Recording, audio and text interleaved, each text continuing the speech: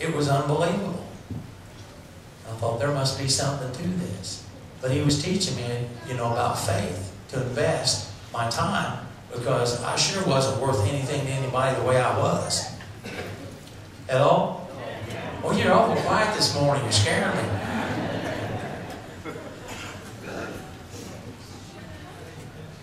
Oh, praise God. He said if you want more talent, if you want more ability, invest what you have in the kingdom. I'm telling you what, I'm looking at a boatload of talent this morning because I seen, I remember when y'all, some of y'all come in here and and you wasn't doing what you're doing now. How many's doing some, doing things that you never thought you'd ever be doing? Look around. I mean, you invested what you had, and now, I mean, God is just, you know, He's He's multiplying your talent. Now you're thinking, boy, I, I want to do something else. And it's faith. It's investing. Praise God. And, and, if you need more treasure, if you need more money, how many needs more money? Well, some of you just have it. That's half of you. Praise God. If you need if you need more treasure or if you need more resources, invest what you have in the kingdom of God and see what happens. See what happens. I remember a lady came to me and she was just I mean she was just you know, working two jobs, single parent, and just having just having an awful time. And I knew she was just I mean it was she was wore out from working just the two jobs, you know. And uh, I said, well, do you tithe? I can't afford to tithe. I said, You can't afford not to. Right. You're working two jobs now. How would you like to just work one job? Oh, well, there's just no way. I can't, I can't afford to do that. And I said, Okay. I said, To prove a point, I said, Won't you just tithe off of one of your jobs? Just tithe off of one job and not the other, and let's just see what happens.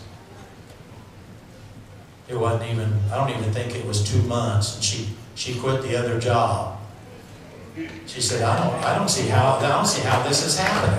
I just don't see. I said, it's faith. It's just faith. It's not, it's not legalism. It's how much can you trust God for? Invest what you have, use it in the kingdom, and see what happens. It's an amazing thing. Luke 6.38 tells us to what? And you'll what? And you shall receive just a little bit. Good measure. Pressed down, shaken together, and running over. Amen. When I go to the movie theater and they hand me that big bag of popcorn, I always get the, I always sit there and I sit there and press down and I shake it and shoot the thing drops that much. Because I don't like to get up and go get another bag. I'm watching the movie, you know. I won't be running back and forth. And I said, good measure, pressed down, shaken together, and the, and the guys just stand there watching me, and I said, here, fill her up.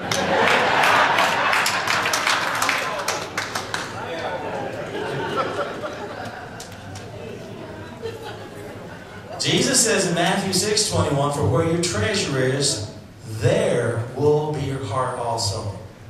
Amen. Praise God.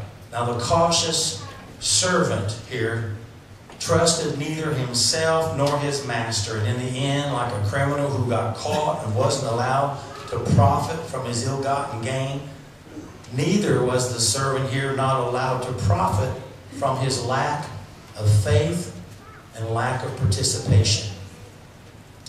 So when we consider that the time that God has given us here on earth and the talents and the abilities that He's instilled within us, that these are the greatest gifts that we have that we can put to use for God's glory.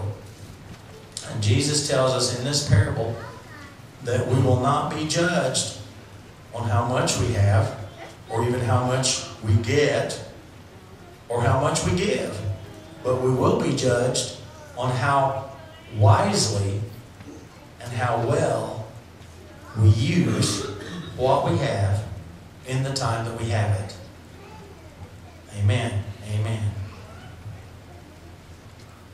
So in this upcoming year, 2010, just remember, use it or lose it. Amen. Praise God. And God, I know, you know, when we put it to use for Him, God is awesome. He will bless you.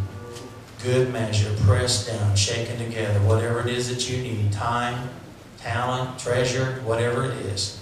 Amen. And I'm telling you what, people will get saved. In the meantime, you will have more fun than a person ought to have. You'll be blessed much more than you ever thought you could be blessed in your life. Thank you, Jesus. We're going to ask the ushers to come this morning. The table has been prepared. Praise God. And, and we're going to